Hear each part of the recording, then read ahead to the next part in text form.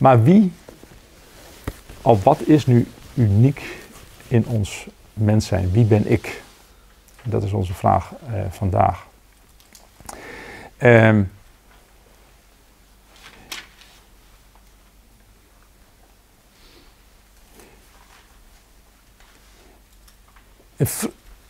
als je het me een jaar of twee geleden gevraagd zou hebben, dan, dan zou uh, mijn, mijn meest actuele, mijn meest, uh, laten we zeggen, uh, ja, in deze tijd passende antwoord voor mijn gevoel zijn geweest, afgezien van, hè, ik weet het niet, hè, wat altijd waar is, je kunt het niet weten, zou toch wel zijn, ik ben energie.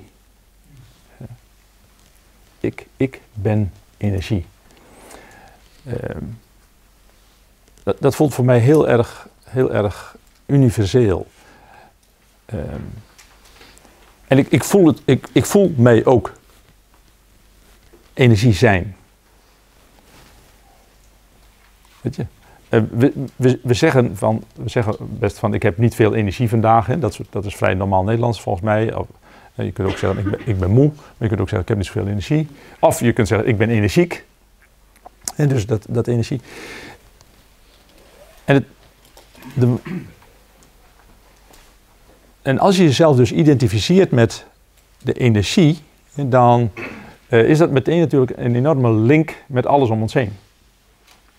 want als jij energie bent, dan uh, ben je eigenlijk één met alles, want wat is niet energie?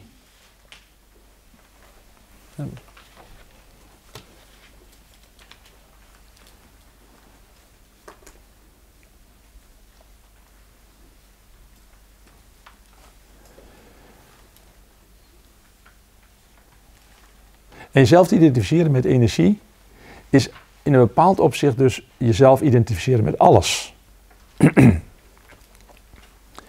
en dat is een, als je dat lukt, de mate waarin je dat lukt, zou je kunnen zeggen, uh, is de mate waarin je dus los kunt komen van de beperkte opvattingen van jezelf.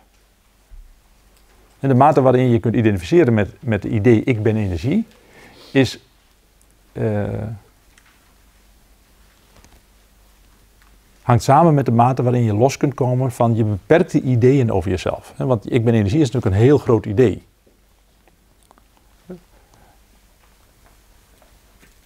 Dus hoe meer je je kunt identificeren met energie, hoe minder je gehinderd wordt door je beperkte opvattingen over jezelf. En omdat we het graag praktisch maken in onze uh, traditie, hè, uh, denk ik dat je zou kunnen zeggen dat naarmate je meer weet te identificeren met energie, des te meer ben je ook energie. Weet je, ik denk dat als je uh, oprecht, hè, niet, niet, als een, niet als een trucje of zo, maar als je oprecht kunt identificeren met energie, dan, dan, dan ben je gewoon meer energie. En ik denk dat iemand die dus eh, zichzelf ziet als energie, eigenlijk ook nooit moe is. Dus als je wel eens moe bent en denkt van, nou, dat zou ik minder willen zijn, uh, denk dan, uh, ik ben energie en dan ben je niet moe meer. nou, zo snel gaat het misschien in het begin niet. en, en het is ook best een, een, kunst om je echt ergens mee te identificeren. Dus het, het, het neemt misschien enige tijd. Maar ik denk dat we aanvoelen wat ik probeer te zeggen. Dus ik ben energie. En tegelijkertijd is dat ook wel heel erg groot. Hè? Uh, dus eh, nu zit ik, en ik heb het gevoel dat dat weer nog weer meer in deze tijd past. Uh, nu zit ik in het idee dat ik nog weer wat anders ben dan energie. Ja, zo heb je dat soms. Nu denk ik dat ik informatie ben. Aangenaam kennis te maken. Ik ben informatie.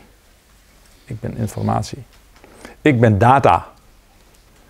Ik ben een verzameling van bits en bytes. Ik, ik ben data. En dat, uh, dat, dat, is dus niet, dat, dat sluit niet dat andere niet uit. Hè? Ik bedoel, dit zijn dus uh, beschrijvingen van facetten van ons zijn.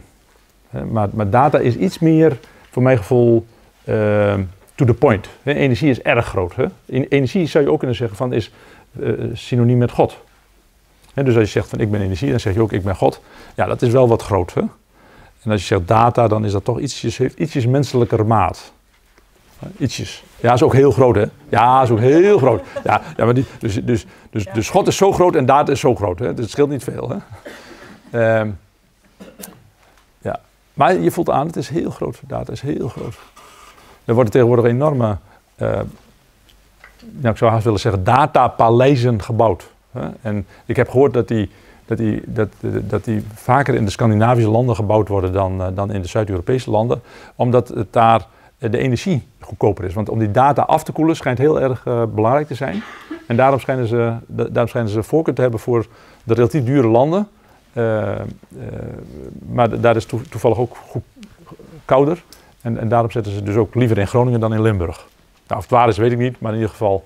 Uh, het zijn enorme pakhuizen van data. Maar, maar ik voel me daar wel verwant mee. Met die pakhuizen van data. Ik heb ook het gevoel dat, dat, dat, dat, dat, dat ik data ben. Ik ben informatie. Ehm, en waar zit die informatie opgeslagen? En hoe cool moeten we dat houden? Uh, uh, daar heb ik mijn eigen uh, theorie over, die nog niet heel veel aanhangers kent. ik ben maar eerlijk in dit verband. Eh, maar ik ga, natuurlijk proberen een paar nieuwe aanhangers te creëren. Dus zet je schrap. Mijn theorie is de volgende. Uh, elke cel, elke cel, elke cel ehm, heeft mitochondriën. Dus uh, energiefabriekjes in zich. Een, cel is minuscuul klein. Maar desalniettemin heeft een, een, een, een cel uh, evenveel onderdelen, naar men zegt, als een Boeing 747. Kunnen we ons dit voorstellen? Dus een cel, minuscuul klein, minuscuul klein, met een microscoop haast niet eens zichtbaar, uh, heeft, naar de wetenschappers zeggen, evenveel onderdelen als een Boeing 747. Dus heel veel. Er zit dus ook een energiefabriekje in. Nou ja, als er in een Boeing kunnen wel verschillende energiefabriekjes. Dus dat, dat moet in een cel dan ook makkelijk kunnen. Nou, dat kan dus ook. Er zit een energiefabriekje in. En die energie, eh, die, die, produceert dus energie. En dat zorgt ervoor dat het een cel een cel is. En die heeft ook een celwand.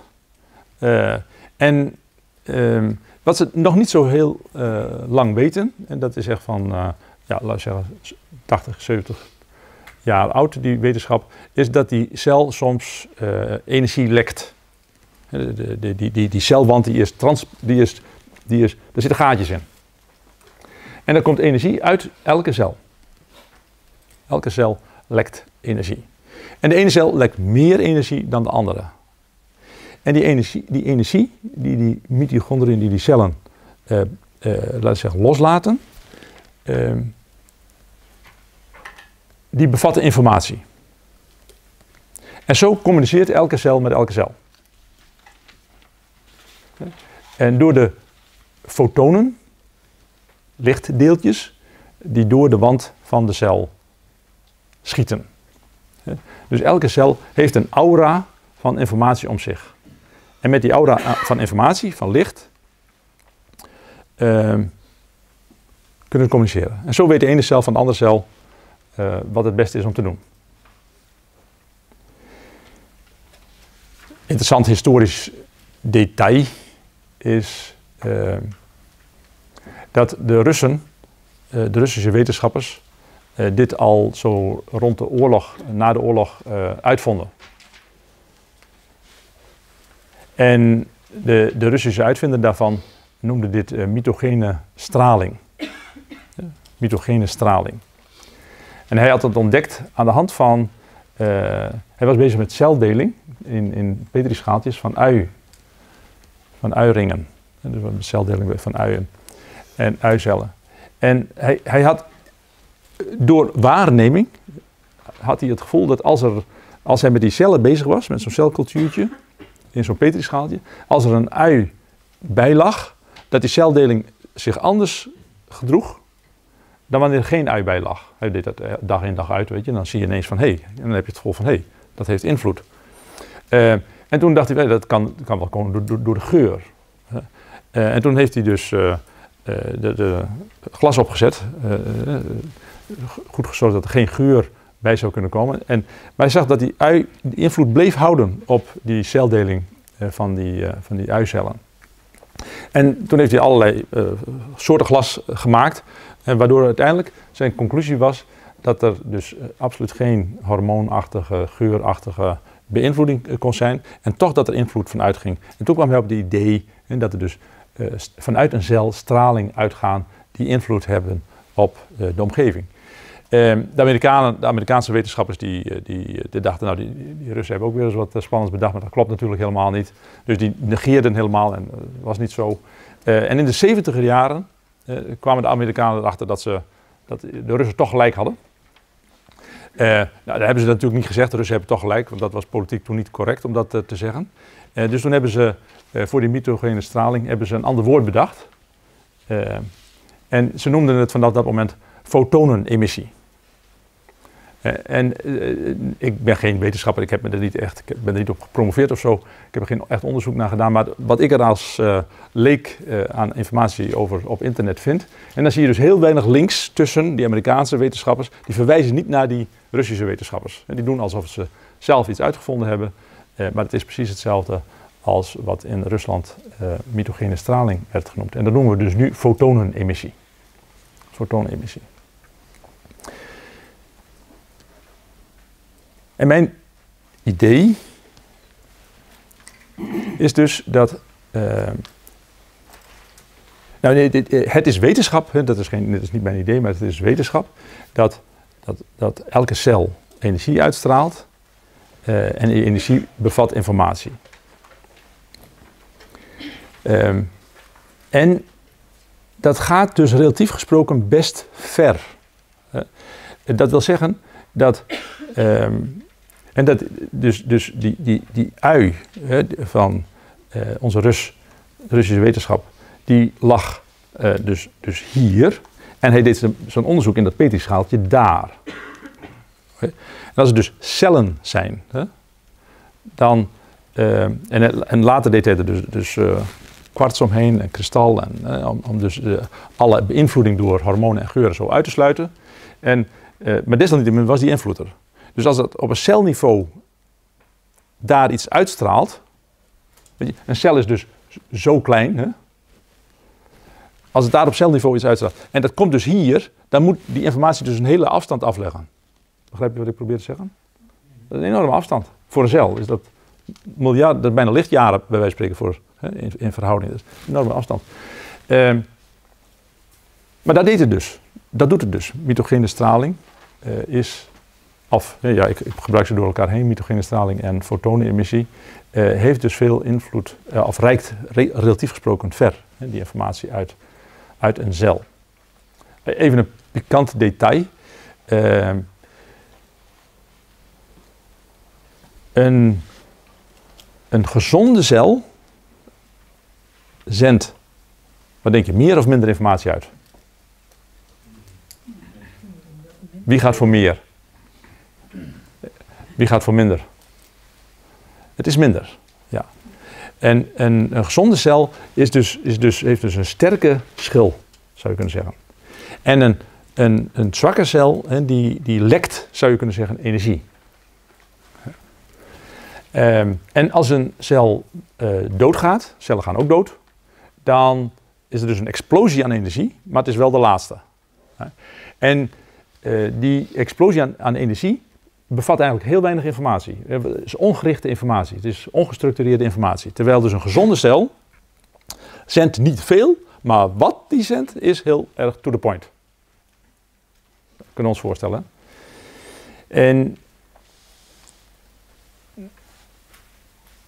als elke cel dus energie uitstraalt, wat doen jij en ik dus? We stralen energie uit.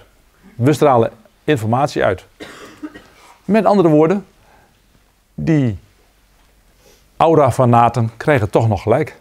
Zeker hebben gelijk. Wij hebben een aura om ons heen. Uh, wat niet voor mij hetzelfde is als dat je dat ook makkelijk kunt lezen. Integendeel zou ik haast willen zeggen.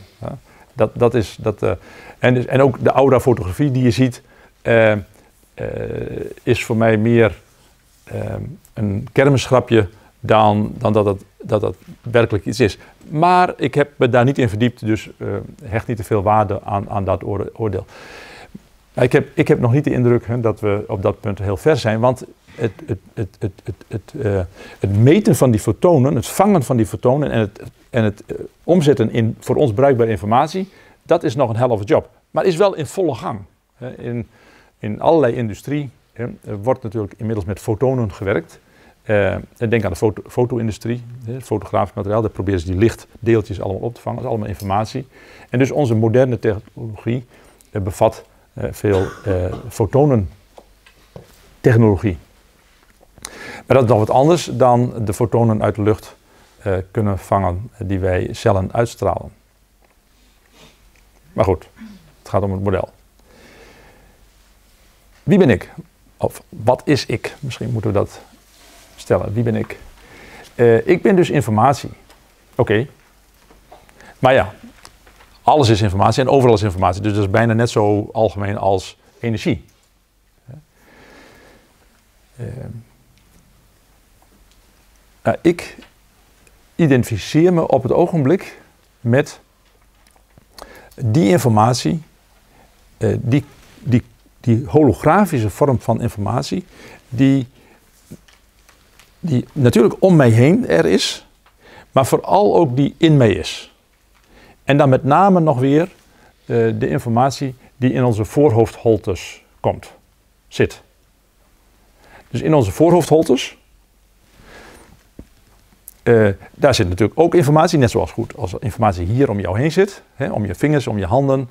Uh, overal zit informatie. Maar, maar op de ene plek, kijk hier, hier straalt de informatie gewoon uit. Hè? Hier gaat het gewoon die kant uit. Maar in mijn holtes, kun je je voorstellen, als, als alle cellen informatie uitstralen, uh, dan is de informatiedichtheid in mijn holtes hoger dan de informatiedichtheid hier. Tamelijk technisch, hè, worden we. Maar, maar is te volgen? Zien we dat? Zijn we het eens? Ja, ik probeer natuurlijk aanhangers van de theorie hè, te genereren. Oké, we zijn het eens. Prima. Nee, ik, ik, ben ergens blijven haken. Oh, je bent ergens blijven haken. Ga je gang, Marleen. Uh, een tijdje geleden zei je, uh, gezonde cellen uh, zenden minder of lekker minder. ja. Die zenden dus minder energie uit. Ja. Maar dan kom je uit op dat mensen met minder energieuitstraling dus gezonder zijn. Dat, Meer energieuitstraling ben je ongezonder. Ja, dat zou zo kunnen zijn, ja. Dat zou zo kunnen zijn. Uh, die, die, dat heb ik niet gezegd, hè? dus dat is een soort van, uh, van, van uh, extrapolatie van, de, van wat ik zeg, wat je, wat je doet. en dat zou ook best dus zo kunnen zijn. Dat, daar heb ik niet zo heel veel theorie over, heb ik me niet zo heel erg in verdiept. Maar ik denk dat je best wel eens gelijk zou kunnen hebben. Hè? Dus uh, om, de, om, de, vraag even te herhalen van, uh, van Marleen: van, is het ook zo dat als gezonde cellen minder energie uitstralen uh, en daarmee minder informatie, maar wel gerichtere informatie, geldt dat dan ook voor mensen? Hè? Dat mensen die minder informatie uitzenden, maar wel gerichtere informatie, omdat ze gezonder zijn, hè, gezonder, dat zou best eens kunnen. Hè? Ehm, kijk, sommige mensen. Uh, ik, ik, ik, ben niet zo goed in de, in de namen van, van die mensen, maar, maar wie, wie heeft ook alweer DNA uitgevonden? En dan, dan doe ik niet op die twee mannen. Wie, waren de twee mannen ook alweer? Watson, Watson en wie? Quick. En, um, en wie was de vrouw op wiens ideeën zij hun um, uitvinding hebben gebaseerd? Hoe heet die ook alweer? Nou, die, ken, die kent niemand, ik, ik ken haar naam ook niet. Maar het is eigenlijk uh, een vrouw geweest op het laboratorium die het heeft uitgevonden. Zij keken over haar schouder en zagen het. Maar deze vrouw, die heeft voor mijn gevoel dus niet zo heel veel uitgezonden, maar die heeft het wel uitgevonden. En, en postuum is zij ook, verdiep je er eens in, krijgt zij eigenlijk ook heel veel, of zo niet alle credit voor de uitvinding van DNA. Terwijl de mannen heel veel uit hebben gezonden, uh, maar uh, het niet hebben uitgevonden. dus haar energie was, was niet de, de schreeuwenergie, maar haar energie was het inzicht. En, en, en, en zij is dus voor mij een mooi voorbeeld uh, van, van iemand die heel goed denkwerk deed en het zag. En de, er stonden twee versterkers naast haar en die hebben het de wereld ingegooid. Dus uh, ik sluit het niet uit dat het, uh, dat het zo is. Hè. Uh, stille, stille, stille, stille, stille water en diepe gronden, hè, dat, dat, dat model. Ja, ik zal nog een vinger. Ja, ja misschien, misschien een aanvulling. In de informatietechnologie wordt wel onderscheid gemaakt tussen informatie en data. Want als data betekenis krijgt, dan wordt het informatie. Oh ja. Dat, dat ja. wel een beetje naar wat je zegt. Ja, zeker. Ja, ja leuk. Maar, maar wat bedoel je dan met informatie? Ja, gaan we, gaan we op door. Dus we zijn nu, we zijn nu eens, hè, uh, en Marleen is ook weer aangehaakt, uh, over het idee hè, dat het zo is dat de cellen informatie uitzenden. Hè, dat is gewoon wetenschap, nogmaals, dat is, geen, dat is algemeen geaccepteerde wetenschap, dat is geen theorie.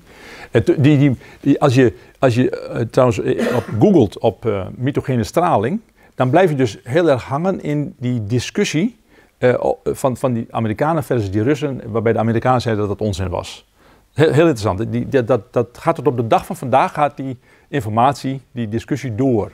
Als je kijkt naar fotonenemissie, dan is dat gewoon een helder wetenschappelijk verhaal waar helemaal geen, geen, geen New Age-achtige hocus-pocus fantasieverhalen omheen hangen. dat, is, dat is interessant om te, om te zien dat, dat zoiets als een, als een model blijft hangen en, en een eigen leven uh, gaat leiden. Goed. Wat bedoel je met, met informatie of data? Uh, het is een interessant onderscheid, informatie en data. Uh, dus we waren zover dat we zeiden van energieën uh, stralen energie uit, of nee, uh, cellen stralen energie uit, die bevat informatie. Gezonde cellen, uh, gerichtere informatie, misschien minder, maar wel gerichter. en als iets één kant uitstraalt, dan heb je dus uh, minder uh, informatie en data uh, als wanneer het van beide kanten komt. Nou, in onze holtes, in al onze holtes, dus ook in onze longen, hè, komt dus informatie, is een hogere informatiedichtheid van het lijf, van wat hier zit, van, als, als buiten ons. Dat is de volgende. Dus de laatste adem uitblazen dat werd vroeger ook gezien als de, ziel uitblazen. Dat hebben jullie allemaal meegekregen, dat idee van de laatste adem uitblazen. Uh, en dat is ook de ziel uitblazen. Nou, die, die ziel, die ziel, dat is ons ik. En dat is wie wij zijn, onze ziel en zaligheid, onze ziel. En dat is, dus als je de ziel uitblaast, en dan, dan klappen dus de longen uh, dicht. Laatste ademblaasje uit, weg longen, weg holtes, weg informatie uit je longen. Althans, ja, er is geen ruimte meer, dus is er ook geen. geen uh, ik was in, in, uh, in, in, in, Londen en daar hangt een heel mooi schilderij. Heel veel mooie schilderijen in Londen. en dit was in, in een van de, van de beroemde musea. En daar, daar een beetje donker schilderij van een soldaat die ligt te sterven op het, op het slagveld. En heel mooi. Ik vond het heel mooi. omdat het heel erg past in mijn beeld. Uh, je zag boven hem zo'n zo'n soort, ja, wat we zouden zeepbel noemen, alleen helemaal grijs. Dus hij had net zijn laatste adem uitgeblazen. En die zag je als een bubbel, als een bubbel, zag je die dus uh, weg, wegdrijven. Dan moet je echt goed naar dat schilderij kijken, want het is natuurlijk subtiel hè, wat, wat daar is. En toen dacht ik, oh ja, dat, dat is het dus, die laatste adem. En dat is dus een pakketje, wat mij betreft, informatie wat in het geheel opgaat de bubbel van onze ziel. Uh, toch focus ik mij niet zozeer op de informatie of de holtes in onze, uh, uh, in onze longen, in onze borstkas, maar ik focus me vooral op de, de voorhoofdsholtes. Omdat, ik, omdat die informatie, die informatiedichtheid die daar plaatsvindt, zit, die ligt heel dicht bij onze hersenen. En met name bij onze prefrontale cortex bij ons, uh, deze hersenen hiervoor. En die hersenen hiervoor, die maken ons mens tot mens. daar hebben wij er veel van. En daar kunnen wij dingen doen als plannen. Dat schijnt vooral in de prefrontale cortex te zitten. In de, deze hersenen. En plannen, maar ook taal en rekenen zitten daar. Dat zijn de, eigenschappen die wij mensen vooral goed ontwikkeld hebben. Nou, de, de voorhoofdholtes die daar dus dichtbij in de buurt liggen, die informatie daar heeft dus veel contact met, ligt direct in de omgeving met, interacteert met die hersencellen waar wij plannen en doen. Dus wat ben jij? Jij bent je voorhoofdholtes. Jij bent de ruimte. Jij bent de ruimte in je voorhoofd. Want in mijn perceptie zit daar de hoogste ik-informatiedichtheid. Je bent natuurlijk ook je pink. Je bent ook je, je duim. Je bent ook je dikke teen. Je bent ook je haar. Je bent, eh, alles is jij. En als je breed genoeg bent, dan zijn we allemaal één. En dan ben ik ook de andere en de andere is ook ik. Maar als we nu kijken naar het normale concept ik, en dan denk ik dat, wij, dat dat een beeld is wat wij van onszelf hebben. dat is ego. Ego is een beeld wat wij van onszelf hebben. En dat is ik. dat is gewoon het uh, oorspronkelijke vertaling van, van het idee ego is ik. Ik is ego, taalkundig gezien. En dat is, uh, zeker door uh, toedoen van Freud, geworden tot de betekenis van beeld wat wij van onszelf hebben. Dus ik is, het beeld wat, wat, ik is het beeld wat ik van mezelf heb. En dat beeld, waar zit dat? Zit het in de hersenen? Nee, in mijn besef niet. Dat beeld zit voor mij in de, in de lege holtes. En met name de voorhoofdholtes. Probleempje? Niet iedereen heeft voorhoofdholtes. Ja, dus daar moeten we even een oplossing voor vinden. Nou, we hebben nog meer holtes in ons hoofd. Hoe heet die holtes? Uh, weet je ook niet? Nee. Bijholtes. Hier, bij Bij de neusholtes. Oh ja, nou die mensen zitten meer in hun neusholtes. ja. ja. ja. En dus, uh, uh, maar, even, het, het, wat ik, het, is, het is een serieuze, het is een serieus uh, idee van mij. Ehm, want ehm, we weten allemaal dat als we verkouden zijn, dan kunnen we minder goed denken. Eens?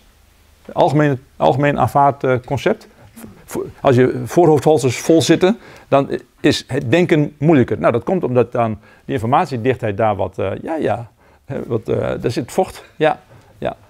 En, en maar het leuke is dat, dat, als je deelt, en daarom deel ik het nu natuurlijk met veel mensen, dat als je deelt met veel mensen, dan krijg je soms uh, ja, onverwachte informatie die heel erg past bij dit idee. In de yoga-traditie is het een hele belangrijke uh, oefening, die niet, niet overal en veel gedaan wordt, zeker niet in het Westen, maar wat wij in de sessie wel eens een keer gedaan hebben in het kader van deze oefening, en dat is uh, snuiten, hè, je neus snuiten. S ochtends uh, links 25 keer en rechts 25 keer. Dus in de zendo mag het niet, aan tafel mag het niet. Maar dat wil niet zeggen dat het niet goed is om je neus te snuiten. Sterker nog, het is heel goed om je neus te snuiten. Maar doe dat tussen 5 uur en half 6 op je kamer. En dan 25 keer rechts en dan 25 keer links. Want en dat maakt de haltes leeg en dat zorgt ervoor dat je goed kunt denken. Dat je denken niet vertroebeld wordt. Uh, wie hebben wel voorhoofdhaltes en wie niet? Daar is niet heel veel over bekend. Er zou veel meer onderzoek naar gedaan moeten worden, vind ik persoonlijk. Uh, maar uh, wat we wel weten is dat die voorhoofdhaltes pas rond uh, ons achtste levensjaar ontstaan. Dus als een kind heeft, heeft, heeft ze niet. Het schijnt pas rond je achtste zo ongeveer dat die holtes ontstaan. En het is ook wel bekend uit, niet heel erg omvangrijk, maar uit wetenschappelijk onderzoek, dat mensen in de sociale lagere milieus minder voorhoofdholtes hebben dan in de sociaal hogere milieus. Bijzonder, hè? Wat is oorzaak en gevolg? Nou, het zou best eens kunnen zijn, dit is echt hypothetisch en niet meer dan dat, het zou best eens kunnen zijn dat dat komt uh, doordat in de hogere sociale milieus uh, minder gesnoven wordt. Dat in de lagere sociale milieu is dat een normale manier om je vocht te reguleren. In de hogere sociale milieus, die doen s ochtends tussen vijf en half zes, snuiten hun neus. Maar dat snuiten, dat draagt bij aan, en dat geeft druk op de voorhoofdholtes. En ik denk dus dat uh, kinderen er goed aan doen, of ouders er goed aan doen, om hun kinderen goed neus te leren snuiten rond die leeftijd. Want daardoor klappen die voorhoofdholtes open. Ik vertelde dit verhaal laatst en toen uh, zei uh, een kenner van Montessori, de oprichter van Montessori, heette die ook Montessori? Of ja, die heette Montessori. In Italië was het, vertelde hij. En dat hij begonnen was bij de eerste school waar ze gaf in, de, in, de, in, de, in, de, in Italië. En dat ze begonnen was de kinderen te leren neussnuiten. Dan denk ik, kijk, dat, dat, dat, is, mooie informatie hè, waarvan ik denk, ja, zo'n wijs mens, die voelt gewoon aan en dat, het, dat het goed is om, om met een leeg hoofd, met een leeg hoofd, met een, de voorhoofdsholtes leeg, ehm, dat, dat dat beter denkt. En, en, dat die kinderen daar veel voordeel van hebben als ze ehm, ja, niet de hele dag lopend uh, snuiven. En dat gaat dan niet om het snuiven dat dat, dat geen prettig geluid is. Dat is ook zo misschien, maar dat is maar een idee. Maar dat het dus vooral gaat om uh, dat die voorhoofdholtes leeg zijn, want daar zit ons epicentrum. Daar, daar, daar, zit, daar, zit, daar zit ons de hoogste dichtheid van ons beeld van onszelf. Ja, vraag. Zou het nog beter zijn om uh, niet verkouden te zijn? Het is dus beter om niet verkouden te zijn dan wel verkouden te zijn. Ja, maar ook als je niet verkouden bent, is het dus goed om je neus te snuiten. dus ik heb ook de gewoonte om elke ochtend, uh, voordat ik ga mediteren, uh, de neus te snuiten. En ik raad iedereen dat aan om dat ook te doen. En dat voelt gewoon goed. En je, en je mediteert eigenlijk direct, je merkt direct dat je lekker er zit te mediteren. En zo snel werkt het. En als je het keer hoort, dan denk je, ja, dat is eigenlijk niet onlogisch ook, toch? En dus gewoon uh, doen om erachter te komen dat het werkt. Dus, uh, ik, ik ben informatie. Hè? Ik ben data. Data, dat wordt, dan, dat wordt dan het beeld wat onze hersenen baseren op de informatie in onze holtes. En dat zijn dan, dat zijn dan gedachten en dat worden dan woorden. Uh, ik, uh, er is ook een, een, neurochirurg die intensief aan Zen doet, Joost.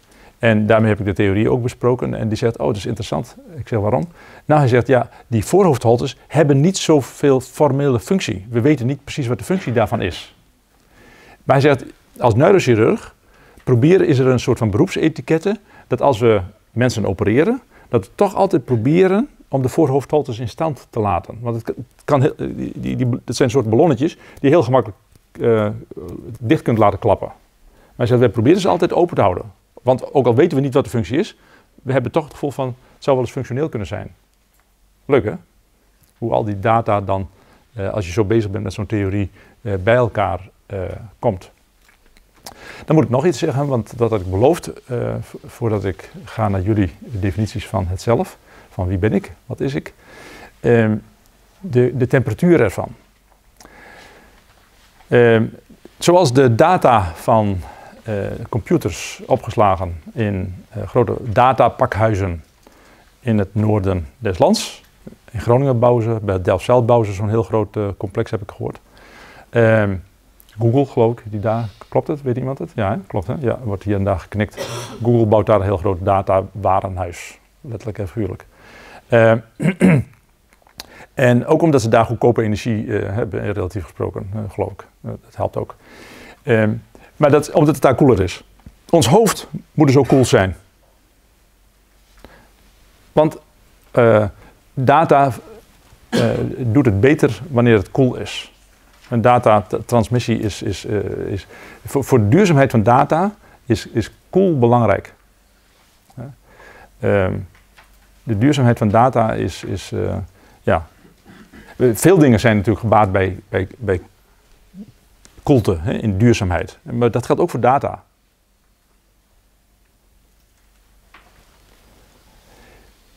En eh, dat is ook waarom of wij door de neus ademen. In het begin vragen mensen vaak van waarom adem je in zen door de neus en waarom niet door de mond, zoals uh, misschien bij andere tradities. Nee, om, omdat door de neus ademen, dat zorgt ervoor dat de hersenen afgekoeld worden. Adem je door de mond, dan scheelt dat ongeveer een halve graad in de hersentemperatuur. Nou, dat is dus niet alleen goed voor je, voor, je, voor je data, maar het is ook goed voor je lijf. Maar wat goed is voor je data, is ook goed voor je lijf, want wij zijn natuurlijk één systeem. Uh, en dat is waarom of we het haar zo kort hebben. Ja. Zo. Is dit een tip? Nou ja. Take it for what you like. Het maakt mij niet uit. Uh, maar in ieder geval door de neus ademen. Dat is belangrijker nog, want dat geeft meer effect dan de, denk ik, de lengte van het haar. Maar ik denk dat het invloed heeft.